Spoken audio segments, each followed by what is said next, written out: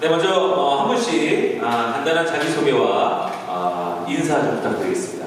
자, 우리 안제민 PD님부터 네, 부탁드릴게요. 네, 안녕하세요. 짠내 투, 더 짠내 투어의 연출을 맡은 안제민 PD라고 합니다. 오늘 이렇게 많이 와주셔서 너무 감사드리고요.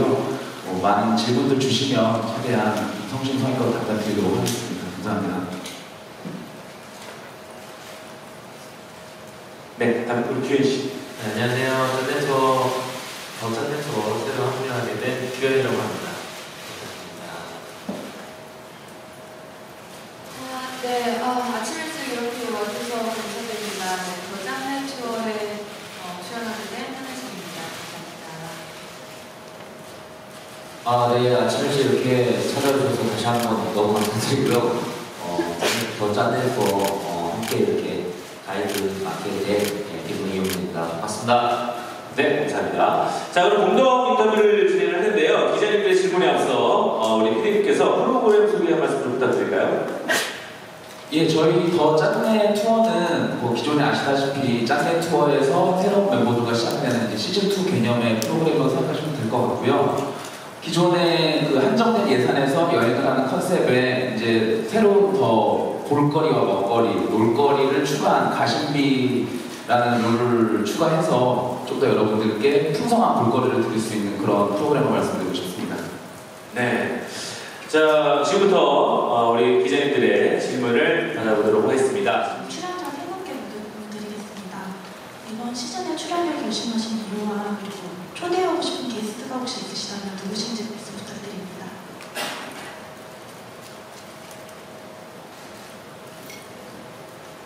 어, 항상 이런 자리에 있으면 늘 받는 질문인 것 같아요.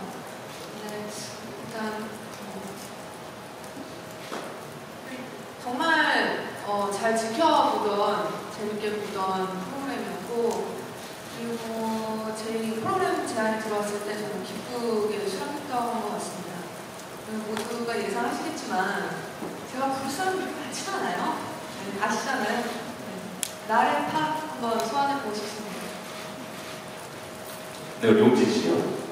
어, 저는 원래 더 짠내터 전, 전에 그 시즌 1 때부터 정말 제가 너무 좋아하는 프로그램 중에 거의 하나였거든요. 그래서 그때도 안재민 PD님이 그때도 연출을 하셨고, 그래서 어, 코믹을 하시다가 가셨던 그 재민 PD님이셔가지고 한 번은 좀 불러주겠지라는 생각을 내심 했었거든요. 왜냐면 저는 또 자칭 개그에서 또 여행 전문가라고 불리고 있어서 어, 한 번은 불러주시겠거니 그랬는데 안 불러주셔가지고 굉장히 좀 서운했었거든요. 황재성 씨, 은세윤 씨, 뭐 허경환 씨 많은 개그맨 개그맨 분들이 출연했는데 내 차례는 언제 올까 이렇게 생각을 했는데 굵직하게 왔습니다. 그래서 더욱더 그렇게 기회를 잡았고요. 너무나 저랑 잘 맞는 프로일 거라고 생각해서 바로 그냥 이렇게 수락했습니다. 아 그리고 게스트 예, 어 저는 뭔가 저랑 같이 이렇게 여행을 다녔던 친구들이 몇 명 없거든요. 그래가지고 양세형 씨나 뭐 세찬 씨 그리고 진호 씨, 어, 10중 8구의 멤버 한 분씩 꼭 이렇게 와주셨으면 좋겠다는 생각해봐요. 세호 씨, 뭐 남창희 씨 그래가지고 아마 그분들 절친 분들을 좀 한번 꼭 섭외하고 싶습니다. 네, 저는 개인적으로 여행을 많이 좋아하기도 하고 그래서 여행 프로그램이 좀 챙겨보는 편인데 음, 그래서 일도 하면서 좀 못 가본 곳도 많이 구경도 할 수 있고 일석이조 뭔가 즐기면서 할 수 있지 않을까라는 생각이 들어서 선택을 했고요. 또 가장 또 크게 마음을 움직였던 건 한 달에 이렇게 3박 4일만 좀 몰아서 힘들면 한 달 동안 좀 마음 편하게 어, 아, 죄송합니다. 네, 좀 몰아서 힘든 걸 좋아하는 편이라서 열심히 딱 일하고 와서 여유를 즐기고 이런 느낌이 정말 마음에 들었습니다. 그래서 큰 선택이 큰 도움을 줬고요. 그리고 같이 하고 싶은 함께 할- 가고 싶은 멤버는 무방신기 최강창민 씨가 그래도 그나마 힘든 그 일정을 음, 좀덜 궁시렁거리면서 소화를 할 것 같은 느낌이 들어서 창민이 아, 같이 갔으면 좋겠습니다. 네, 감사합니다. 아, 그리고 이 세 분을 캐스팅한 이유는 아까 뭐 이용진 씨도 먼저 말씀하셨지만 용진 씨는 그 여행 매니아라는 거를 같이 꾸믹 하면서도 알고 있었고 좀 뭔가 이제 게스트로 한 번 부르기에는 그가 가진 내공이 너무 크기 때문에 뭔가 새롭게 큰 자리에서 같이 한번 해보자 싶어서 좀 아끼고 있었고요. 한혜진 씨 같은 경우는 저희가 이제 여성 출연자의 노래 굉장히 중요해요. 저희 프로그램을 많이 좋아하시는 분들이 여성 시청자분들이고 그런 여성자, 여성 시청자분들이 어떤 출연자가 나와야 아, 저렇게 여행을 하고 싶다, 여행 가서 저렇게 입고 싶다, 저렇게 놀고 싶다 하는 롤 모델이 누구실까 고민을 많이 했더니 답 정답이 한혜진 씨밖에 없더라고요. 그래서 이 한혜진 씨를 섭외를 하게 됐고 규현 씨 같은 경우는 이제 어 한동안 이제 군 복무 때문에 시청자들이 굉장히 궁금해하는 인물이었고 그 역시 이제 저희가 조사해 본 바 굉장히 뭐 하루에 5분 단위로 들었을 때 어떤 돈에서 나는 짠내가 아니라 시간에서 나오는 짠내를 보여줄 수 있는 출연자라는 생각이 들어서 이렇게 세 분을 섭외하게 됐습니다. 네. 자, 우리 멤버들 우리 박명수 씨에 대한 네, 질문이 있었죠. 어, 저도 처음에 좀 걱정을 했어요. 물론 이제 명수 형이 좀 툴툴거리시지만 다 열심히 하시고 또 정의도 많은 분이라는 걸 알고 있어서 기본적으로 좋은 마음을 가지고 시작을 했는데 아무래도 예능적인 부분이다 보니까 좀 저희를 많이 구박하고 질타 위주의 그런 느낌이 되지 않을까 생각했었는데 의외로 맛있으면 맛있다고 솔직하게 얘기하시고 어, 또 이렇게 보이지 않는 곳에서 위로도 많이 해주시고 재밌다, 뭐 재밌었다 뭐 이런 얘기 위로 약간 힘이 되는 말씀을 많이 해주셔서 어, 참 감사했던 것 같아요. 근데 물론 그 힘이 되는 말들이 TV로는 확인을 못 하실 거예요. 왜냐면 카메라 앞에서 그런 얘기를 잘 안 하시는 왜냐면 또 쑥스러워서 그러신가 봐요. 그래서 그래도 참 큰 힘이 됐던 형님 아닌가 싶습니다. 우리 박명수 씨를 컨트롤할 수 있는 사람은 우리 한혜진 씨다라는 얘기가 있는데요. 우리 한혜진 씨는 혹시 박명수 씨에 대해서 어떻게 생각하십니까? 어, 정말 그분은 카메라가 꺼졌을 때 천사를 보내시더라고요. 그거 왜 그런지 모르겠어요. 근데 제가 한 번 프로그램을 같이 해본 적이 없어서 어, 아니 오빠 나래한테 나래가 먼저 했기 때문에 명수가 얘기 되게 많이 들었거든요. 근데 아 명수가 너무 좋다고 제가 사실 걱정을 많이 그랬더니 어, 나래양이 많이 안심시켜줬는데 어 정말 진짜 너무 좋으시고 어, 명석과가 지금 라디오 생각 때문에 여기를 못 나오셨는데 지금 중간중간 노래 틀 때마다 기사를 다 보고 계시길 거, 거기 때문에 어, 명석과 너무 좋습니다. 네. 사랑합니다. 네. 네. 그 이용규 씨는 어, 어떻습니까? 개그맨 선배님이신데 어, 아까 기자님이 말씀을 해주신 질문은 어, 뭐 박명수 선배님이 뭔가 만족을 하거나 칭찬을 해주거나 뭐 저희가 설계하는 입장에서도 평가자니까요. 네, 어떠셨는지 했는데 어, 뭐 앞에 말씀드렸다시피 뭐 규현 씨, 한혜진 씨, 뭐 명수 형, 뭐 뒤에서 정말 착한 사람인 건 너무나 예, 유명한 얘기고 그건 뭐좀 인정하는 건데 아까 질문 그대로 말씀드리자면 어, 명수 형의 만족은 저에게 중요하지 않습니다. 시청자분들이 만족을 하셔야 되는 거고요. 네, 명수 형님이 근데 그건 있어요. 뭔가 명수 형님이 맛있다고 하는 거는 정말 대중적으로 맛있는 겁니다. 예, 그리고 좋다고 하는 건 정말 대중적으로 좋은 거고. 그래서 뭔가 평가에 있어서 절대적인 평가자의 힘이 좀 있거든요. 그래서 저희는 뭐 그쪽에만 맞춘다면 많은 분들도 좋아하지 않을까라는 생각하고요. 근데 그 기준이 명수 형이 되긴 합니다. 예. 네 맞습니다. 자, 음, 그각 나라의 랜드마크 보는 거를 굉장히 좋아합니다. 그리고 방송에도 나왔다시피 파리에 가면 에펠탑을 봐야 되고요. 예, 뉴욕에 가면 자유여신상 봐야 되고 그 나라의 가장 유명한 랜드마크를 이렇게 항상 방문을 하고 또 즉석 사진기로 저는 그 사진을 남기는 걸 좋아하거든요. 그래서 랜드마크 사진을 찍어서 수집하는 게 제 여행에 있어서 좀 어느 정도 중요한 퍼센트를 좀 차지하고 있거든요. 그래서 저는 항상 어, 랜드마크 위주로 여행한다고 싶어요. 혹시 가봤던 랜드마크 중에 가장 기억에 남는 랜드마크는 어디가 있을까요? 어, 뭐 뻔한 얘기겠지만 뭐 프랑스 뭐 에펠탑도 있고 웬만한 것도 있지만 제 원픽은 앙코르와트였던 것 같아요. 어, 네. 네. 자 우리 한혜진 씨는요. 어, 전 사실 랜드마크 별로 안 좋아하고요. 사람 많은 데를 안 좋아하고. 그죠? 아, 그래서 어, 어느 도시를 가든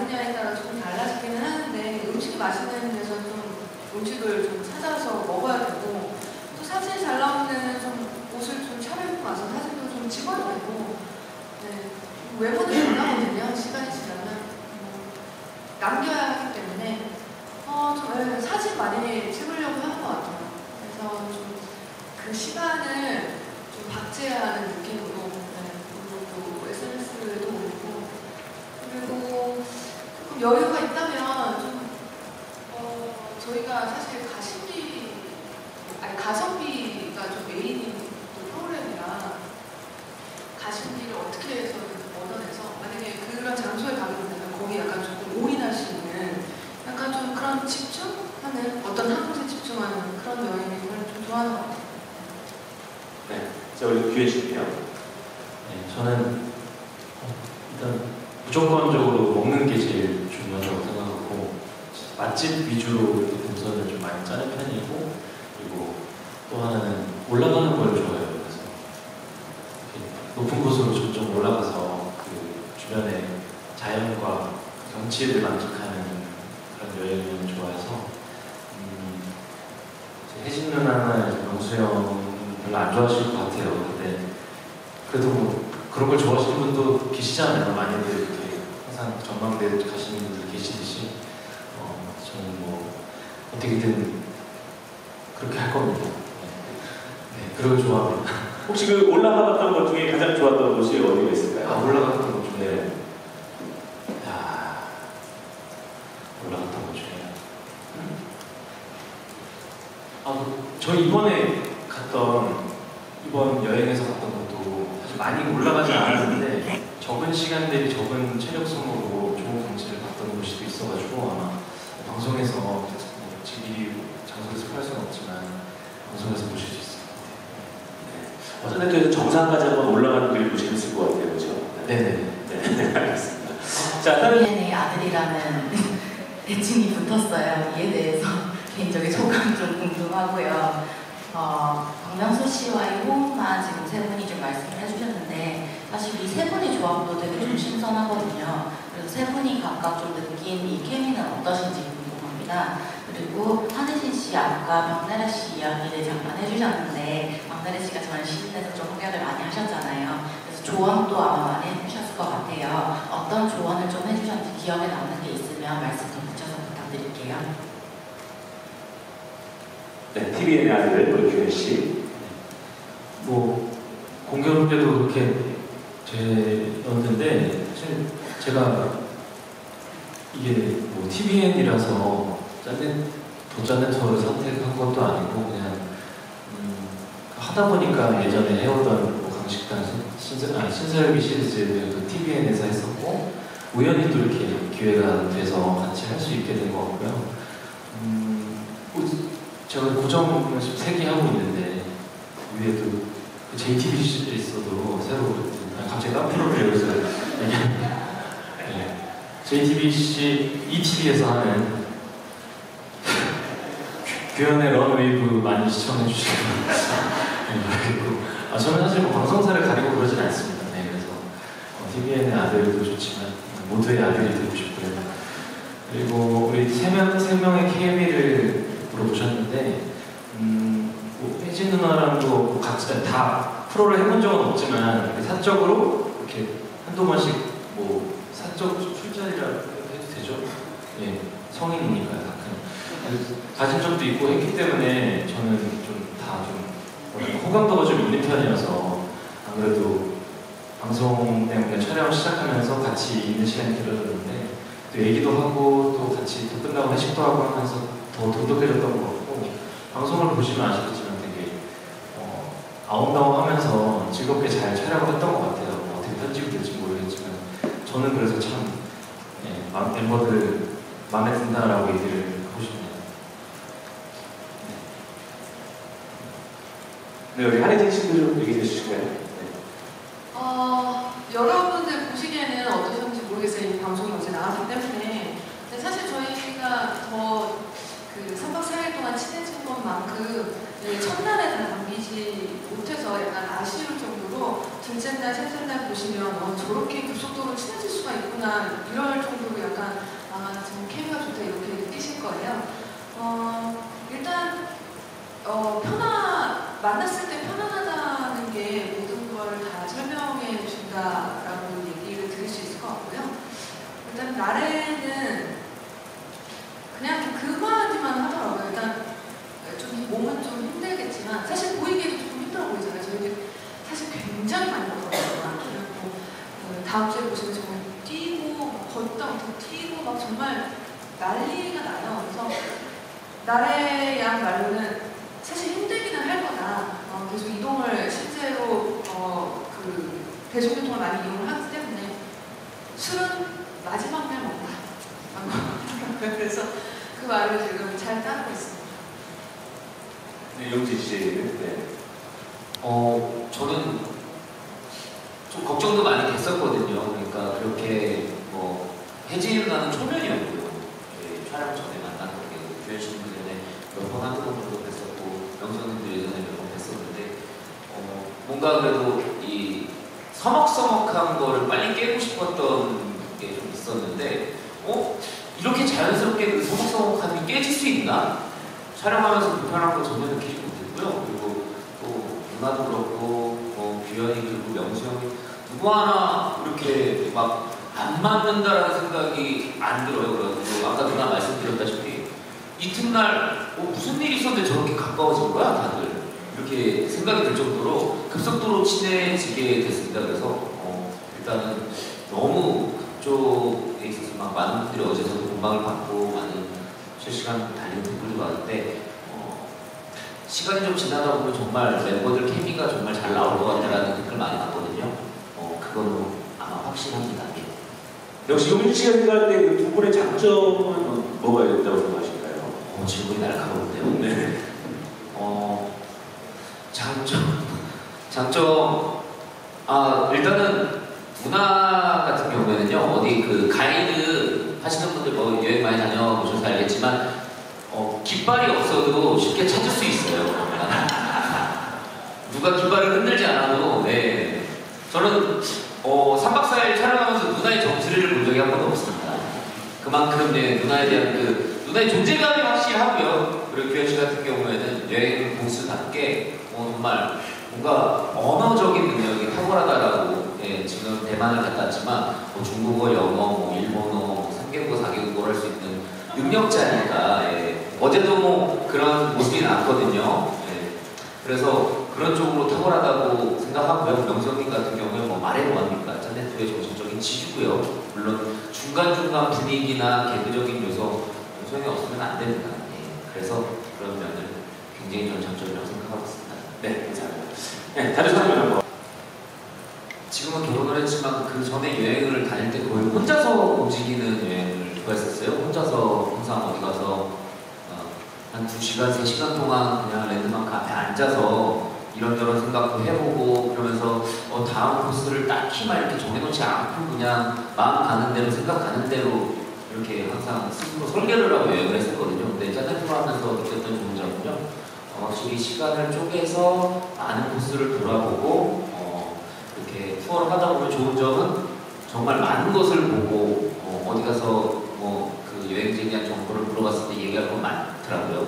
그리고 또 하지만 그 단점은 확실히 몸이 힘든 거는 예, 있죠. 그런데 이번 짜증 투어 한 번 갔다 오면서 느꼈던 것 중에 아 그래도 여행은 몸이 피곤하더라도 많이 보고 많이 즐기고 많이 먹고 그러는 게 확실히 여행다운 여행이구나. 그래서 제가 혼자 돌아다녔을 때보다 비교를 해보자면 확실히 많이 보고 예, 많이 먹고 많이 먹고 그렇게 좀 시간을 쪼개서 쓰는 게 좋다라고 이번에 좀 느끼게 된 계기일 것 같습니다.